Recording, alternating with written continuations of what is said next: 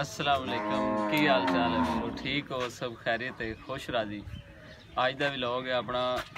ਅਚਾਨਕ ਪਲਾਨ ਬਣ ਗਿਆ ਮੱਛੀ ਦਾ। ਮੌਸਮ ਤੇ ਠੰਡਾ ਨਹੀਂ ਹੈ, ਪਰ ਫਿਰ ਵੀ ਮੌਸਮ ਉਹ ਆ ਗਿਆ ਵੀ ਬੰਦਾ ਮੱਛੀ ਖਾ ਸਕਦਾ। ਹੈ। ਤੇ ਸਾਡੀ ਪੈ ਗਈ ਹੈ ਪੰਜ। 2-200 ਰੁਪਏ ਦੀ। ਤੇ ਹੁਣ ਚੱਲਿਆ ਫਿਰ ਅਸੀਂ ਮੱਛੀ ਖਾਵਣ ਦੇ ਉੱਥੇ ਬੋਤਲ ਲੱਭਦੀ ਹੈ 2 ਨੰਬਰ। ਇਸ ਵਜ੍ਹਾ ਤੋਂ ਫਿਰ ਬਾਬਾ ਜੀ ਇੰਤਜ਼ਾਮ ਇੱਥੇ ਕਰਕੇ ਚੱਲੇ ਆ ਬਾਕੀ ਜਿਹੜਾ ਤੁਹਾਨੂੰ ਵਿਖਾਣ ਹੈ ਉੱਥੇ ਚੱਲ ਕੇ ਕਿ ਮੱਛੀ ਦੇ ਕੀ ਨਜ਼ਾਰੇ ਨੇ। ਸ਼ਾਮ ਖਾਂ ਆਉਂਦੇ ਨੇ ਤੇ ਫਿਰ ਉਹ ਦੂਜੇ ਸਕੂਟਰ ਕਿਤੇ ਲੈ ਇਹ ਨਹੀਂ ਲੈ ਤਾਂ ਜਾਣੀ ਭਾਈ ਪੈਟਰੋਲ ਬੜਾ ਮਹਿੰਗਾ। ਲੋ ਕਰ ਲੋ ਗੱਲ। ਚਾਰ ਮੋਟਰਸਾਈਕਲ ਇੱਕ ਮੋਟਰਸਾਈਕਲ ਤੇ ਜਾਂਦੇ ਆ ਪੈਟਰੋਲ ਬਣਾਣੇ ਚਾਰ ਬੰਦੇ ਆਪਾਂ ਕੋ ਮੰਮੀ ਡੈਡੀ ਆ। ਅਸੀਂ ਕੋ ਮੰਮੀ ਡੈਡੀ ਵੀ ਮਸਲਾ ਪੇ ਬਣਦਾ। ਚਾਰੇ ਬੰਦੇ ਇੱਕ ਸਕੂਟਰ ਤੇ ਜਾਂਦੇ ਆ ਤੂੰ ਇੱਧਰ ਹੀ ਖਾਲ ਤੇ ਆ ਚੱਲ।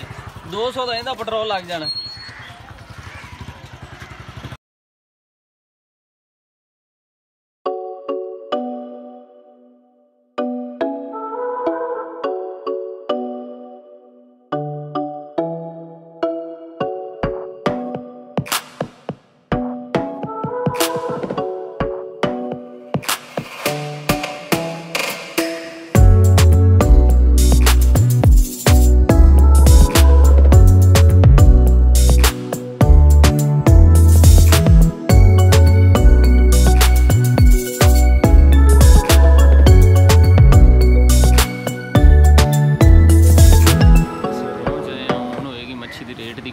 ਖੁਫੀਆ ਤੌਰ ਤੇ।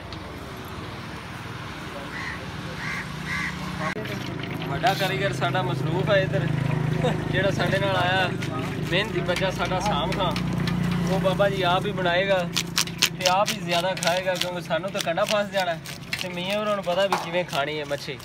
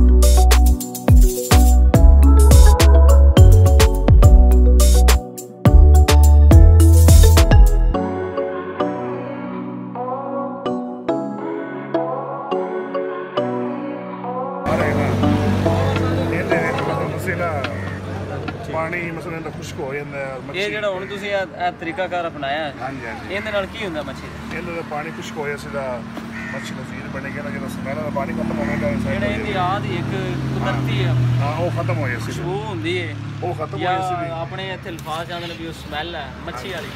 ਉਹ ਇਸ ਤਰ੍ਹਾਂ ਕਰਨ ਨਾਲ ਖਤਮ ਹੋ ਜਾਂਦੀ ਹੈ ਖਤਮ ਹੋ ਜਾਂਦੀ ਬੰਦਾ ਇਹ ਅਗਰ ਨਹੀਂ ਖਤਮ ਕਰਨੇ ਤਾਂ ਮੱਛੀ ਤੁਹਾਨੂੰ ਚੰਗੀ ਨਹੀਂ ਲੱਗਣੀ ਉਹ ਫਿਰ ਉਹ ਅਮਕ ਟੈਪ ਜੀ ਆਉਂਦੀ ਜਿਵੇਂ ਆਪਾਂ ਕਹਿ ਲੈਂਦੇ ਹੁਣ ਇਹਦਾ ਹੁਣ ਦੂਸਰਾ ਕੋਟ ਹੈ ਹਾਂ ਇਹ ਦੂਸਰਾ ਕੋਟ ਦੇਵਾਂਗੇ ਤਿਆਰ ਹੋ ਜਾਵੇ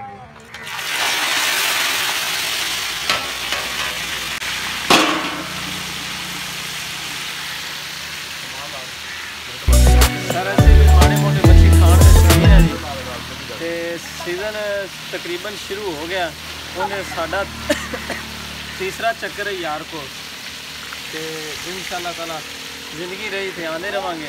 ਬਾਲ ਉਸਤਾਦ ਉਹਨਾਂ ਦਾ ਹੱਥ ਦਾ ਟੇਸਟ ਕਮਾਲ ਹੈ। ਐਡ ਸੁਲੇਮਾਨ ਕੀ ਵੀ ਗਏ ਹੈ ਮਿਆਰੀ ਵਾਲੇ ਤੇ ਵੀ ਅੱਗੇ ਲੱਗਦੀ ਹੈ ਉੱਥੇ ਵੀ ਖਾਂਦੇ ਰਹੇ ਲੇਕਿਨ ਬਾਬਾ ਜੀ, ਉਸਤਾਦ ਉਹਨਾਂ ਨੂੰ ਵੀ ਇੱਥੇ ਚੌਥਾ, ਪੰਜਵਾਂ ਸੀਜ਼ਨ ਹੈ ਸਾਡੇ ਤੇ।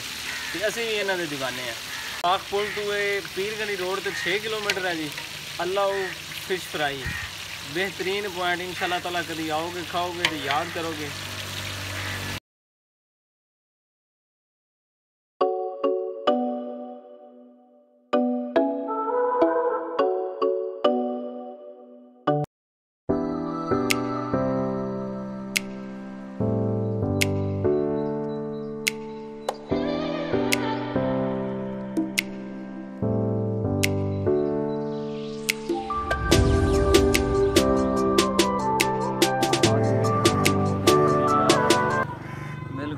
ਤੇ ਯਾਦ ਕਰੋਗੇ ਦੀ ਗੜੀਆਂ ਖਤਮ ਹੋ ਚੁੱਕੀਆਂ ਨੇ ਮਟੀਰੀਅਲ ਆ ਗਿਆ ਬਾਬਾ ਜੀ।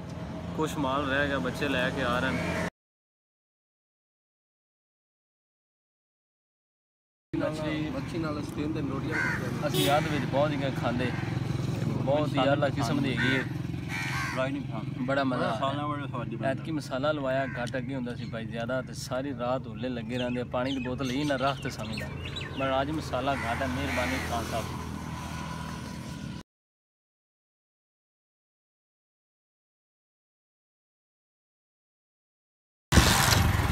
ਵਲੌਗ ਵੀ ਸਾਡਾ ਐਂਡ ਹੋ ਗਿਆ ਕਿਉਂਕਿ ਮੱਛੀ ਦੇ ਮਾਮਲਾਤ ਵੀ ਖਤਮ ਹੋ ਗਏ।